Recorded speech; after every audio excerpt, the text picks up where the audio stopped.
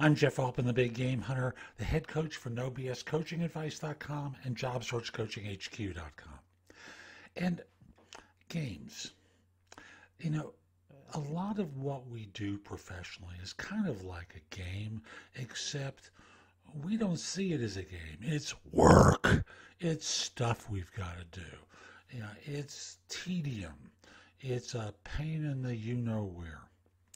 And when I was young, and I was with my friends in the Bronx, Bronx, New York, not too far from Yankee Stadium, when we played, let me try that again.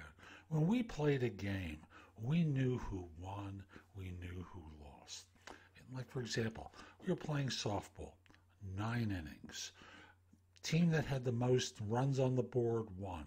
Basketball, much the same thing. 48 minutes later, the, the team that had the most points on the board won the game.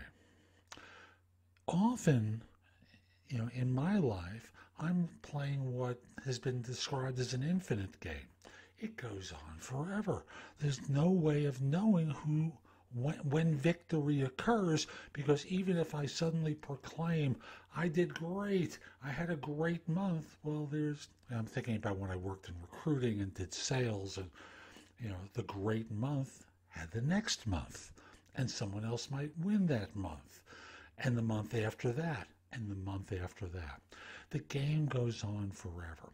And it's one of the reasons why, you know, frankly, many of us get exhausted. And I'm wondering where you can set up a period of time where you're playing your game for. So, for example, uh, if I were thinking about stopping smoking, which I did many years ago, or losing weight, which I've got to do now.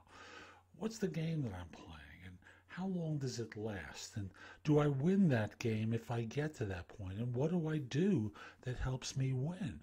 How do we measure success here? Does everyone agree to these terms, or does someone go, ah, ah, ah, and basically do the equivalent of a finger wag, as I just did uh, to you? Infinite games are hard to feel satisfied with. And if you're leading a group, if you're part of a group, playing the infinite game is exhausting. There's no win that people feel unless you create a short term gain.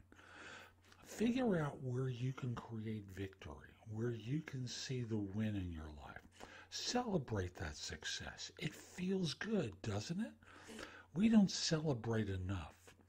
And I'm telling you, if you create a little fun in the process of doing what you're doing, you will feel a lot better. So, hope you found this helpful. I'm Jeff Altman. If you're interested in my coaching, you connect with me on LinkedIn at linkedin.com forward slash IN forward slash the big game hunter.